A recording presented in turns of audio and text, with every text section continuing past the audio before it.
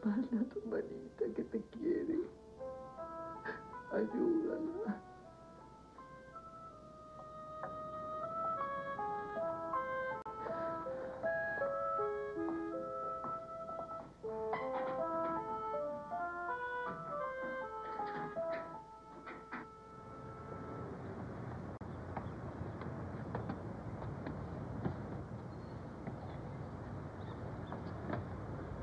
El carro.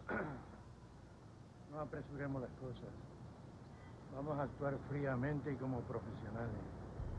Como lo que somos tú y yo, dos profesionales. Heriberto y Wilmer estaban en la farmacia. Dispararon y se desplazaron hacia allá. Volvieron a disparar y se volvieron a desplazar. Cruzaron por aquí. Llegaron a donde está Mariú y le entregaron la pistola. Eso lo sabemos. Mariú, ahí donde estabas tú. Sí, aquí. ¿Segura? Un 100% segura, sí. Es verdad, yo la vi. ¿Hacia dónde te desplazaste? Hacia ningún lado, yo no me moví de aquí. ¿Dónde te entregaron la pistola? Aquí, estaba muerta de miedo. Fue como un acto de reflejo. Heriberto me, me entregó la medicina y, y después Wilmer me entregó el arma. Y yo, yo la solté y salí corriendo por allá. Muy bien. ¿Llegaste a disparar? No, yo en mi vida le he disparado a nadie, jamás. Emiliano.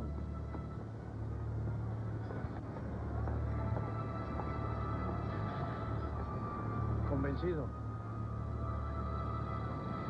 ¿Convencido de qué, Benigno? Emiliano, ¿no te das cuenta? Mariú no pudo haber matado a tu esposa.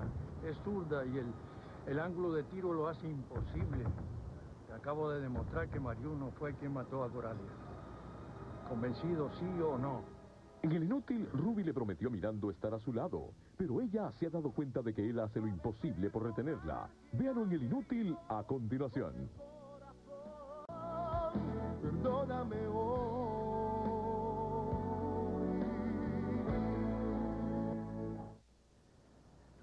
ver su inocencia por todos lados. Entonces, según tú, ella... Ella es Blancanieves. No me falte el respeto, Emiliano. Entonces tendría que decir yo que tú estás empeñado en que Mariú es culpable. Claro, porque ese es su empeño. Usted se calla. Usted no tiene opinión aquí. Sí tengo opinión, porque estás decidiendo mi vida, Emiliano. Emiliano, ¿dónde fue herida tu esposa? Aquí en la, en la- en la frente. Entonces, más a mi favor. Si el ángulo de tiro fuera posible, el impacto sería en la nuca.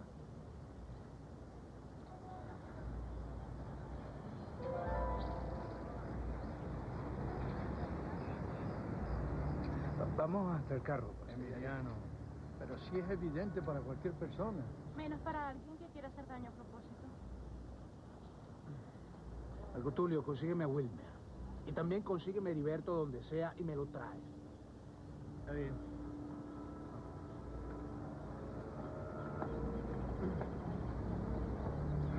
¿Qué piensa Emiliano?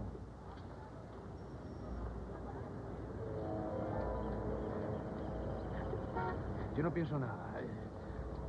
Todavía no, no, no, no pienso nada. Vamos al carro. ¿Cómo fue que Wilmer pudo hacer una cosa de esa, comadre? Mire, Virgen del Valle, ¿cómo es verdad que el dicho ese que dice que de acuerdo y te sacarán los ojos es verdaderamente cierto, comadre? ¿Ah? Un desgraciado que no ha conocido más familia que la suya, comadre Piedad. Pues lo hizo, comadre, lo hizo. ¿Usted sabe lo que me contestó? Que él no iba a pagar por muerto que mató a otro. ¿Qué te parece? ¿Qué maluco es? Cuando él perfectamente, mejor que nadie, sabe que muchachita no tuvo nada que ver con el asesinato de esa señora. Pero no, él insiste que fue ella la que disparó, la que hundí, comadre, la que hundí. Yo no sé por qué quiere hacerle eso cuando, cuando yo no he hecho otra cosa en esta vida que alzar mis manos para ayudar a ese hombre. El disparo fue de frente, porque rompió el parabrisas. Así es, Benigno. Lo recuerdo perfectamente. Entonces tiene que estar de acuerdo que Mariú no pudo haber asesinado a Coralia. En el supuesto negado de que ella haya disparado, lo cual no se ha comprobado. Y yo no lo creo. Yo lo único que tiro de mi vida son fosforitos y así soy muerta de miedo. Entonces, Emiliano, ¿qué esperamos? Está todo claro, ¿no? Benigno,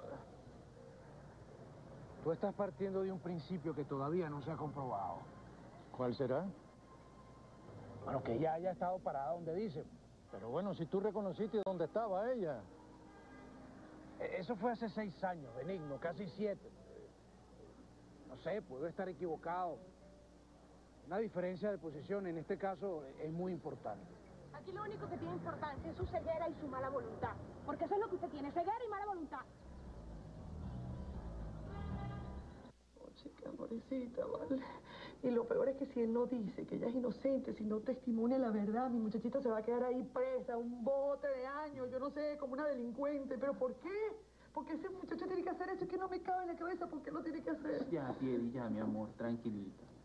Ya. ¿Hasta cuándo la mentira, Piedad? Si tú siempre me has amado y yo a ti.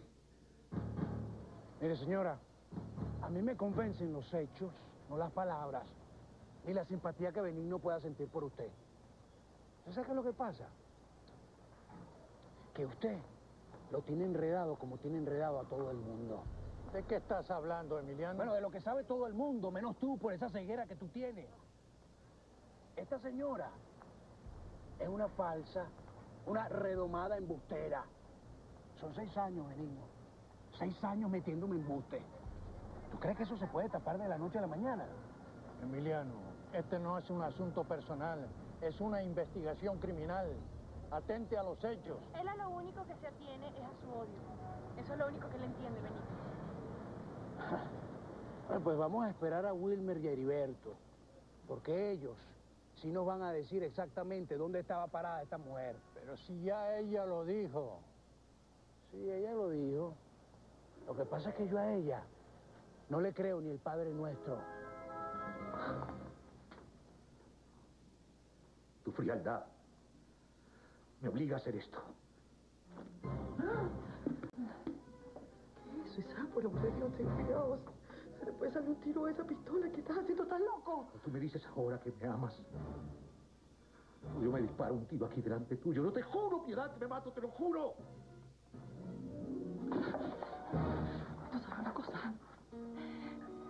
Que me acaba de dar una excelente idea. Una gran oportunidad. ¿Pero qué estás haciendo, mujer? ¿Estás loca? Sí, estoy loca. Ya yo no puedo con mis angustias. Ya yo no puedo con esta tristeza vienes aquí a aumentar mis problemas. Pues sí, soy yo la que va a terminar con mi vida. Soy yo. Por favor.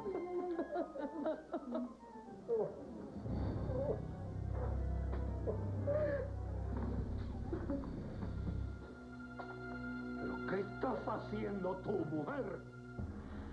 ¿Cómo es posible que me enlodes con mi propio hermano? Tú no le has dicho nada a Wilmer y a Heriberto, ¿verdad? No, en lo absoluto. Muy bien. Yo quiero que tú te lleves a Wilmer por el otro lado y yo me llevo a Heriberto por este. ¿Estamos de acuerdo? Parece correcto. Andando, pues.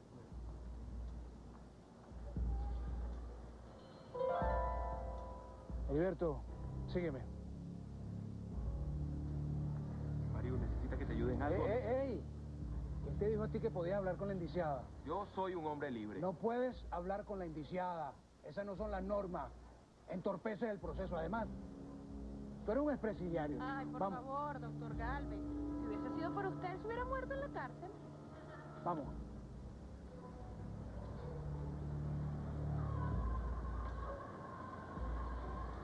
Mira, Heriberto Bracho, yo quiero que tú me respondas a una sola pregunta que te voy a hacer. Pero no te apresures, no te apresures. Yo quiero que trates de recordar con la mayor precisión posible.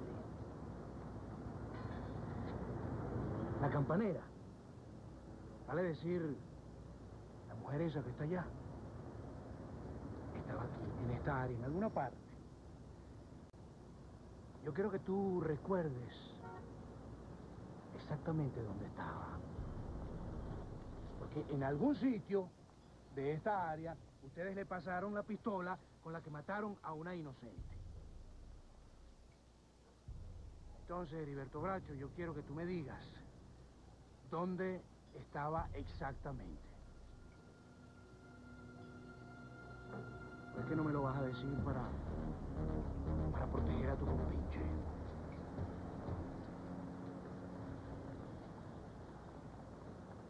¿Dónde?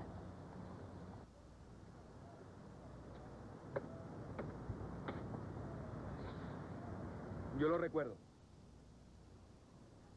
María Eugenia era mi novia y yo estaba bien pendiente de ella. Ella estaba parada aquí exactamente. Aquí fue donde Wilmer le dio la pistola.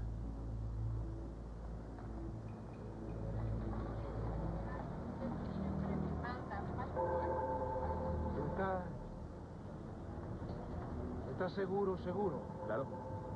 Han pasado seis años, pero esto no lo voy a olvidar nunca. Está bien, está bien.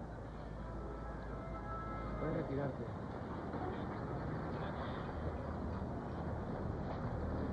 ¿Te das cuenta, Emiliano? El mismo sitio donde dijo Mario. Marco Tulio, tráeme a Wilmer.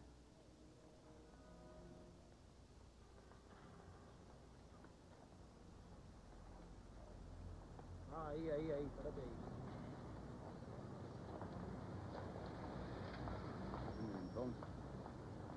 ustedes quieren conmigo ahora, pues.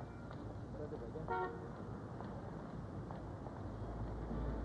Wilmer, yo te voy a hacer una pregunta. Y no me vengas con las mentiras de siempre. Yo necesito que tú recuerdes muy bien. Yo necesito que tú seas muy exacto, o lo más exacto que puedas.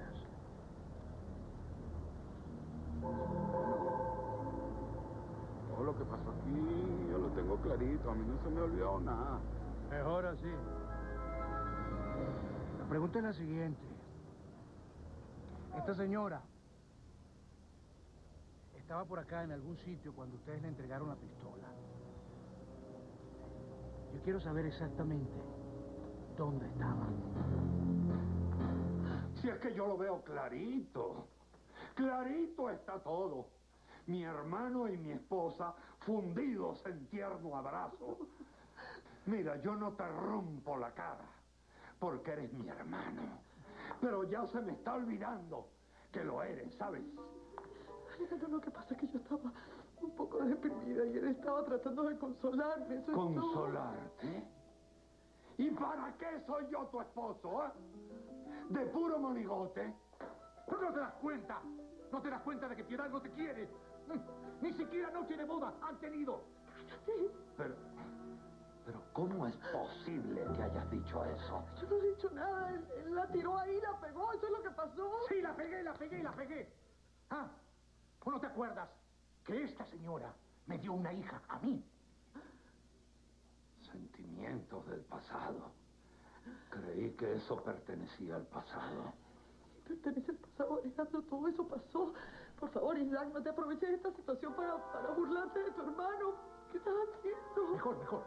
Que se ubique de una buena vez por todas. Eso. Mira, ¿sabes qué tienes que hacer? Agarrar la pistola esa y usarla contra mí. Matarme. Porque nunca, jamás te voy a perdonar. Estás equivocado. Algún día me vas a agradecer que yo hoy te haya colocado los pies sobre la tierra. Piedad se casó contigo por despecho. Porque yo no conseguí que Dalila me diera el divorcio por despecho. Entiéndelo. Por amor de Qué Dios. daño tan grande me has hecho, mujer. Qué daño tan grande.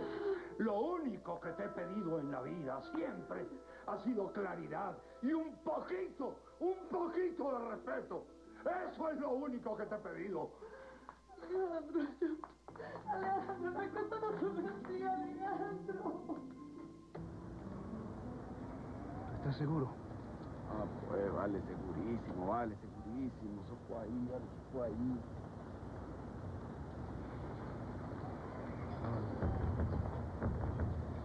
Marco Tulio.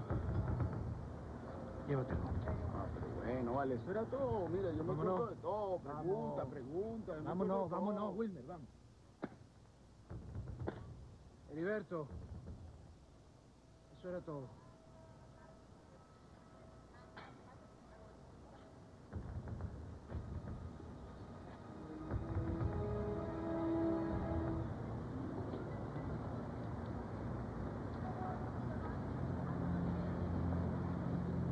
¿Quieres más pruebas, Emiliano? Mariudo estaba allí, vio la pistola, y de allí es imposible que haya disparado a tu mujer. María Cristina o María Eugenia es inocente, totalmente inocente. Tú me pediste ese hecho y te he presentado hechos. María Eugenia no ha disparado una pistola en toda su vida, y si lo hubiese hecho, el ángulo de tiro es imposible que haya matado a tu esposa. Ella tuvo la pistola segundos en su mano y después la botó.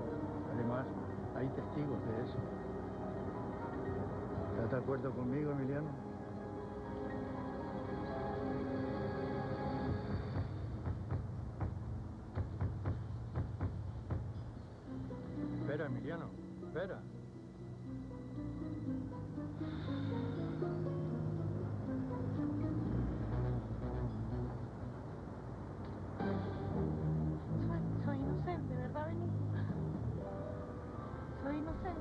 Claro que sí, totalmente inocente.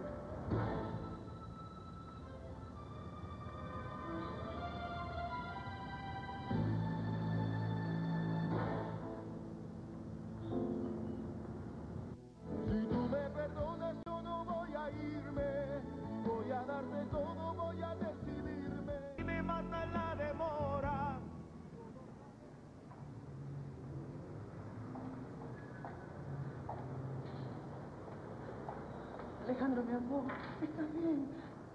Alejandro. Herido. Eso es lo que estoy, bien herido.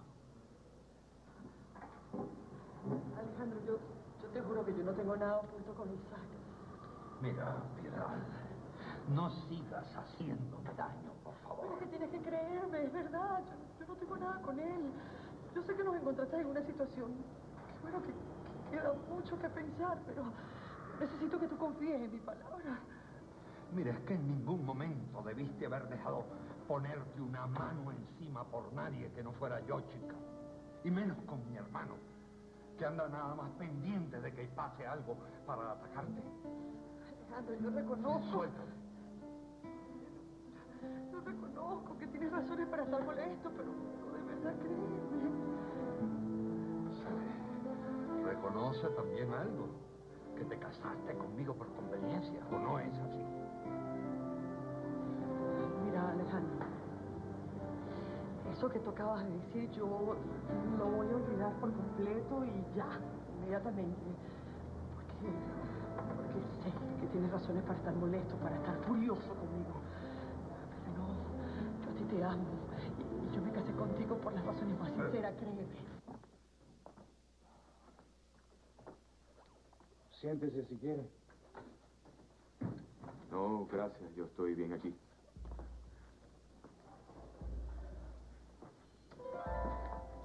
Mira, Heriberto Bracho, ya esta investigación está llegando a sus conclusiones. Y tú ya no tienes motivos para mentir. Yo lo que quiero de ti es la verdad. Y es muy importante que, que, que tú me digas eso, que me digas la verdad, no le agregues ni le quites nada. Y mucho menos mientas. Yo estoy dispuesto a creerte. Alejandro, de verdad. Yo a ti te amo. De verdad que yo te amo. Pero mientras las cosas estén entre tu hijo y mi hija de la forma como están, es imposible. Y, yo pienso que, que va a ser mejor que, que entre las dos continúen las cosas como están. Sí, claro.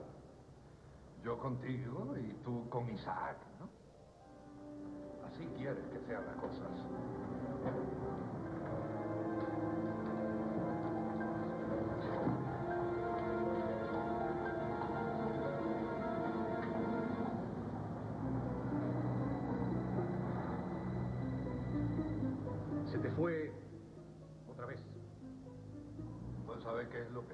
Aquí, chico? ¿Hasta cuándo, chico? ¿Qué es lo que tú quieres? ah? Mira, ya me tienes la paciencia colmada. Tranquilo, hermano. Tranquilo que vengo en plan de paz. Vengo con la verdad por delante. Yo te vengo a decir la verdad de las cosas tal como son y de una buena vez por todas.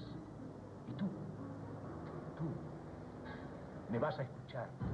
Resumiendo, los hechos fueron así, más o menos, como se lo voy a contar.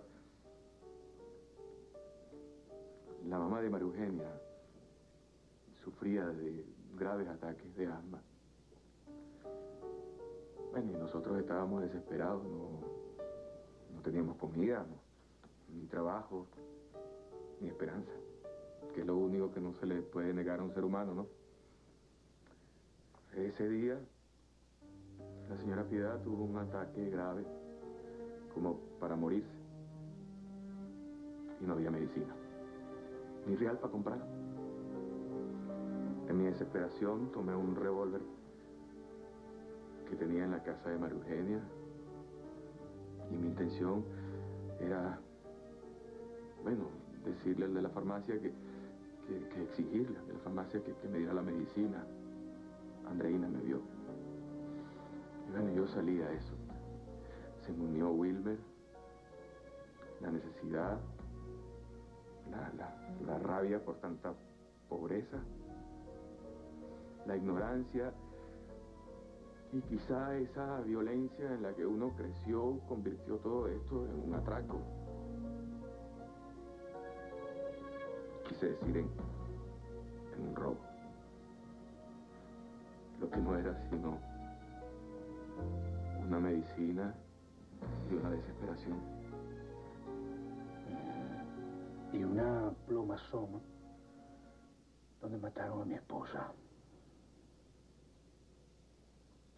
Fíjate tú cómo es la vida, Heriberto Bracho. Ninguno de ustedes es culpable. Pero a mi esposa le volaron la cabeza de un tiro. Cosa, ¿no? Piedad es una santa. Yo... El que sale, sale de ahí como loco, pana. Y todo lo que pasamos por eso, ¿sabes? Salimos de aquí destruidos, man. Acabados. Sé fuerte, Wilmer. Sé muy fuerte. Porque cuando tú salgas, nosotros, tu única familia, te vamos a estar esperando. ¿sí? Quiero mucho, pana. Te quiero mucho, Mario.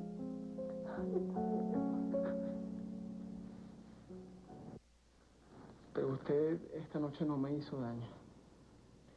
Me alegro porque esa no fue mi intención. Bueno, me asustó, eso sí. Porque es que yo tengo muchas pesadillas con la muerte de Helen. Alfredo, no te atormentes con eso, ¿sí? Yo, yo quisiera en- entender el significado de una nueva vida. Olvidarme de esos sueños feroces. Bueno, entonces lo que tienes que hacer, ¿sabes qué? Es pensar con lo más bello que tienes. Pensar con el corazón. Él siempre te puede devolver la esperanza.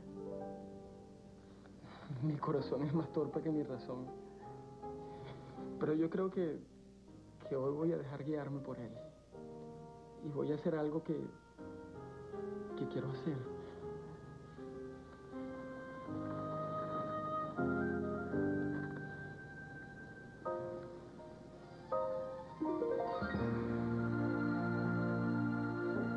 Cuando terminen de comer, vamos a echar una conversadita, ¿oyeron? Antes de irse a dormir. Porque es que tengo alguna cosita que explicarles. ¿Qué Carlos que arregle? Bueno, ya va. ¡Voy! ¡Ahí voy! Buenas noches. Buena, ¿qué desea? ¿Me permite pasar, por favor? Mm, La casa no es mía, así que... Bueno, pase pues, pero eso sí, que sea rapidito, ¿yo? Hola, Juan de Dios. ¿Cómo estás, Cintia? Aprovecho. Emilito. ¿Cómo estás, Alejandrito, mi amor? Bueno, se pueden cambiar porque los vine a buscar para que vayamos a dar un paseo. Mire, señorita, a mí me parece que usted no sabe que me dejaron los muchachitos para que yo los viera, ¿ves?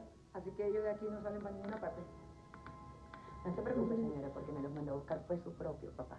Ah, sí. ¿Y por qué no vino él personalmente? Bueno, porque está ocupado. Pero yo esos niños los vi nacer y los vi crecer. Yo soy de la familia. De hecho, vengo en representación de él. No hay ningún problema. Tómese eso, comadre, que le va a caer bien. La veo extraña, rara. En vez de estar contenta porque todo se solucionó de la mejor manera. ¿En verdad usted cree eso, compadre? Que todo se solucionó de la mejor manera. Yo no lo creo así. No te entiendo, Mario.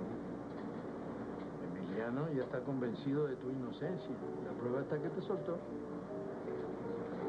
Bueno, en eso sí tiene razón. Emiliano está convencido de mi inocencia. Pero ¿y todo lo demás? Todo lo demás no cuenta, Benito. Las humillaciones, los insultos, las dejaciones a las cuales me sometió Emiliano, no haber creído en mi amor, en mi devoción, el creerme una falsa, el no creer en mi afecto. Esas son cosas que me hieren, me hieren muchísimo. Yo siento como, como si algo se hubiese salido y no sé cómo explicarlo. ¿Qué piensas hacer? ¿Vas a perdonar a Emiliano? ¿Vas a seguir con él? Porque esa es la pregunta que nos hacemos todos. ¿María Eugenia va a perdonar a Emiliano? ¿Va a seguir siendo su esposa? Lo que pasa es que usted no me trajo ni siquiera una autorización escrita por Mariu o por Emiliano para yo entregarle una noticias. Ámbar, no nos vamos contigo. Que nos venga a buscar Mario. Sí, que venga mami. Yo vine por petición de, de su papá. Y ustedes deberían de obedecerlo. Yo creo que yo no me merezco este trato. No, señorita, yo le voy a decir una cosa, ¿no? No fui yo quien fue a la casa suya a tocar la puerta y a llegar buscando a nadie. Así que si usted se siente mal, mire, sacúdase las chanclas y váyase. Antes de que la trate mal de verdad, oye. Haga el favor, abandone. Permiso, permiso. Ya oyó los niños. Va, discúlpeme. Nos veremos luego.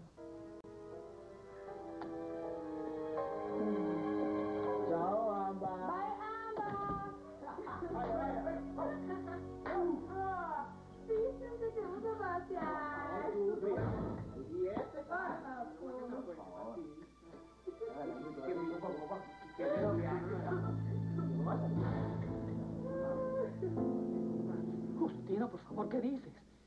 Me estás poniendo en una situación muy injusta. Cállate, cállate. Que lo que está diciendo el padre merece toda la atención. Continúe, padre, siga. Bueno, nada. Yo creo que ya yo he dicho casi todo. Que esta señora podría ser mi madre. Es más, es muy probable que de hecho lo sea. De modo que aún yo siendo un sinvergüenza, un hipócrita, que bien sabe Dios que no lo soy, su hija Aurora hubiese sido imposible para mis pretensiones. O sea que usted vendría siendo un cacho más palance. Que soy yo mismo, ¿no? Mira, es que yo te mato a ti. Señores, basta, por favor. Recuerden que están en un lugar sagrado y que este lugar se respeta. Y aquel que no esté en sus cabales como para respetar este sitio, lo mejor que puede hacer es irse. Empezando por ti, Alejandro Galvez. Sí, señor padre, dígaselo. Aterroriza ese hombre, se lo confieso. A mí me da miedo de hablarle así con libertad. Hablamos de tu esposa, una mujer de la que cualquier hombre debería sentirse orgulloso. Yo he tenido una sola, una sola esposa, doña Grecia. Y esa fue su hija. Por lo demás, yo no, Yo no reconozco ninguna otra. Yo no sé qué motivos tendrá usted para pensar así. Reconozco que nuestras relaciones no han sido buenas. Y no es el motivo ahora para encontrar quién es el culpable. Pero quiero hablarle con sinceridad.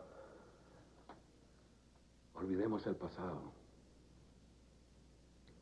Usted perdió a Coralia. Y fue un gran dolor. Pero tuvo la fortuna de encontrar a otra mujer que es digna de ocupar su puesto. Así es, Emiliano. Y si lo decimos nosotros, yo, que fui su madre, debes creerlo. Mario es una muchacha incapaz de hacerle daño a nadie. Y si vinimos a hablar contigo, pues estamos seguros de su inocencia.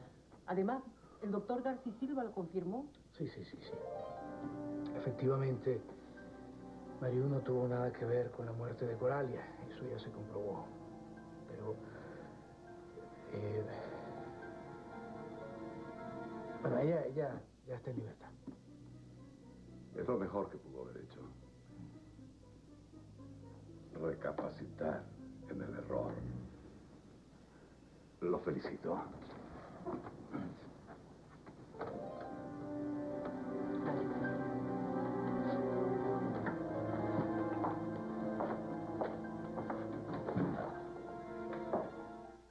Mire, monseñor Hortensio, a esta mujer usted no le crea, mire, ni el nombre siquiera, ¿sabe?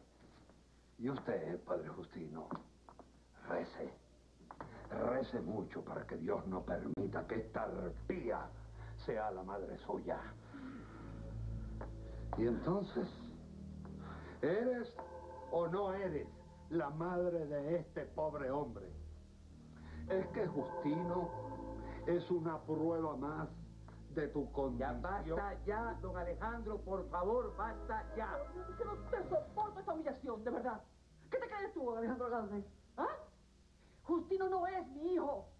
Y yo no sé quién te ha metido así tanta patraña en esa cabeza, de verdad. Y de verdad, me, me siento muy humillada. De aquí me voy. Adiós. Sí, claro, vete. Corre. Hazte la loca para no enfrentar tus verdades. Mala mujer, caray. Disculpe, monseñor. Disculpe, padre Remágoras. Disculpen tanta estupidez. La verdad es que me siento avergonzado. Pero es que yo no sabía nada, ¿sabe, padre? No sabía nada.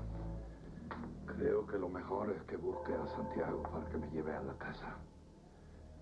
Estoy muy deprimido.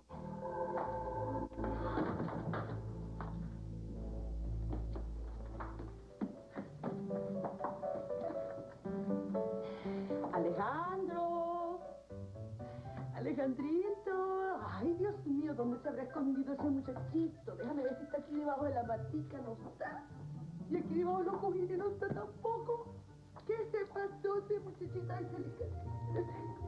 ¿Qué le pasó al muchachito? ¿Dónde está? Vete, Alejandro. Ah, no va a aparecer. Ah, pues entonces esta señora que está aquí se va a ir a comer un helado gigante de mantecado, así que...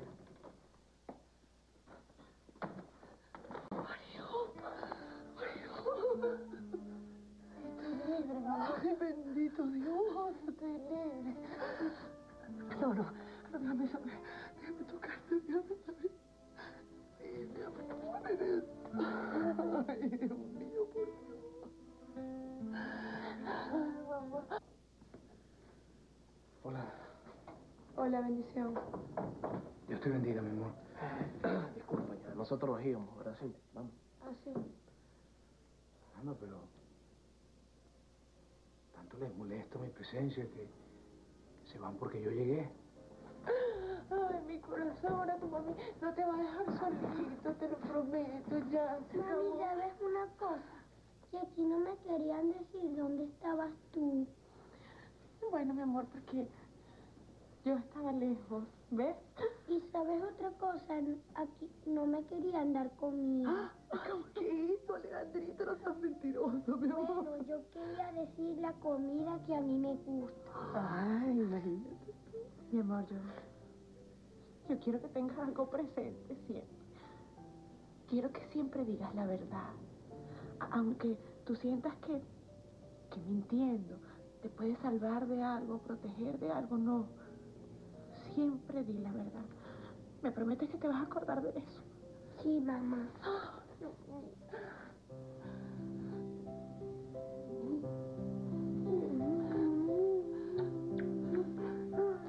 ya va, ya va. Un momento. Ustedes no van a esperar a... a su mamá. A mi mamá. A mi mamá. Dime tú, o sea, dime cómo la vamos a esperar. ¿O es que acaso tú no la tienes presa? ¿Ah? Melito, respeta. Yo no te permito que me hables así. Además, ya se demostró la inocencia de María. Ella está libre, yo la solté. Oye, Melito, ¿está libre? No, no, papá. Dime que es verdad. Ay, gracias, papá. Papá, eh, bueno, papá, mira, de verdad, o sea, has sabido corregir tu gran error. Dame un abrazo, sí, por favor, vamos.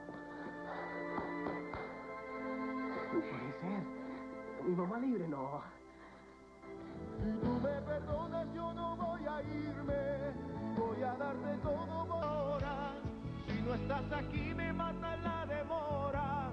Solo sabe perdonar quien ha querido con el corazón. Si tú me perdonas, yo no voy a irme. Voy a darte todo, voy a decidirme. No me dejes. Permiso. Doctor, en la sala está el doctor Gachi Silva. Ah, sí, hágalo pasar.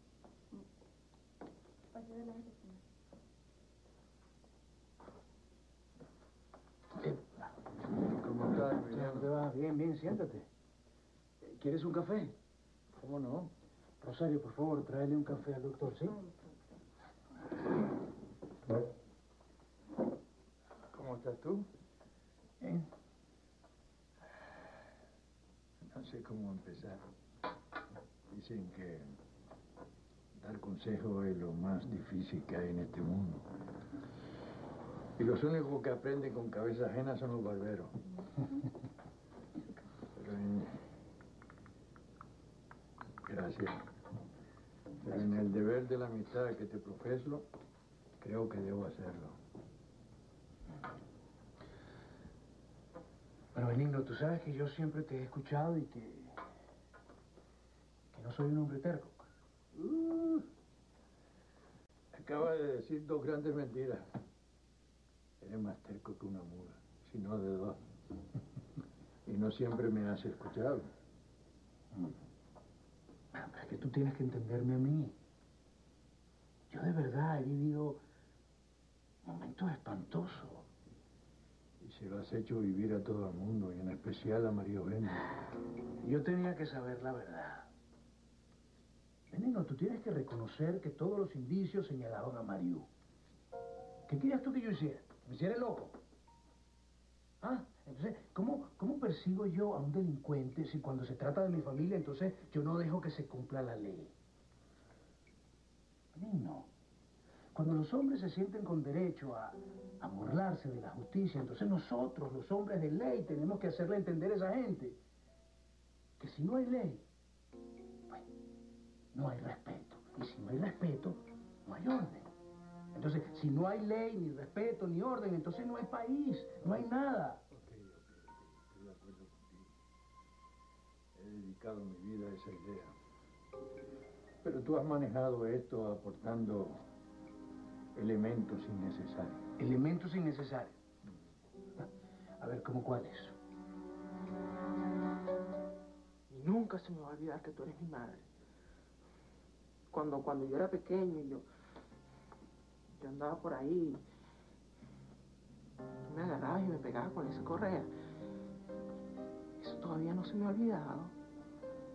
Cuando yo estaba en la casa, que me dejabas solo y tú salías para la calle, eso tampoco se me ha olvidado, Tibisaida. Bueno, no tenías otra oportunidad. Yo tenía que mantenerme, pues. Y mantenerme aquí porque tú comías mucho, mi amor.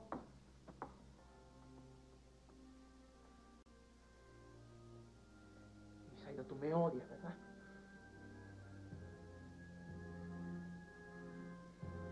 ¿Qué quieres tú que yo sienta por un hijo que jamás se ha acordado que su madre existe?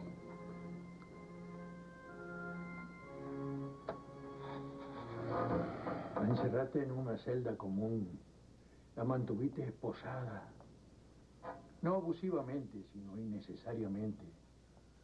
¿A dónde se iba a escapar ella? ¿Estábamos hablando acaso de un delincuente común?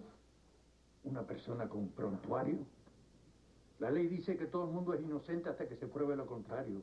Y tú actuaste desde un principio como si tuviera las pruebas condenatorias hacia Mario, sin tener la consideración del sufrimiento de su familia, la desesperación de Juan de Dios y el desprestigio de Mario, porque salió en todos los periódicos. Benigno, ese- esas son cosas que se escapan del control de uno. Además, mira, si yo fui severo con Heriberto y con Wilmer, entonces, ¿por qué iba a ser alcahueta con la persona que yo pensaba que era el cómplice de ellos? ¿Por qué? Pero bueno, en fin, eh, ¿qué es lo que quieres, Benigno? ¿Cuál es el consejo que me quería dar? Tienes que pedir perdón. ¿Qué? Tienes que pedirle perdón a Mario. Es tu deber hacerlo. Y además, te conviene. Bueno, ¿qué pasa, Benigno? ¿Tú estás loco? ¿Tú estás loco? Era esa correa. Esa correa que hasta nombre le pusiste, la sin hueso. Ese nombre nunca se me va a olvidar, tío Isaías. Ay, Dios, tú, tú eres un tremendo hijo y yo no. Mira, ¿sabes qué? Yo... Yo... A veces me pregunto por qué... ¿Por qué tuve que nacer? ¿Por qué tuve que sufrir la más terrible de las crueldades? Ser rechazado por su... Cállate, cállate, Juan de Dios. No me hables así, vale. Tú no sabes lo que es haber tenido un hijo no deseado. Tú no sabes lo que son las maldades y las ignorancias de los sitios en donde yo he vivido. Tú no sabes que yo también tuve una madre que me pegaba y me maltrataba. Tú no sabes que yo también tuve al lado un patán a quien yo no quería y me maltrataba y me pegaba. Tú no sabes nada de eso, Juan de Dios. Tú no lo sabes. Tú crees en ella, pero yo no. Ese es el problema básico en todo esto. Yo no creo en ella, porque ella destruyó en mí lo que yo traje a esta relación. ¿Tú sabes qué fue eso? Mi fe ciega en ella. Mi confianza plena en, en- en- en su, en su mirada, en su sonrisa,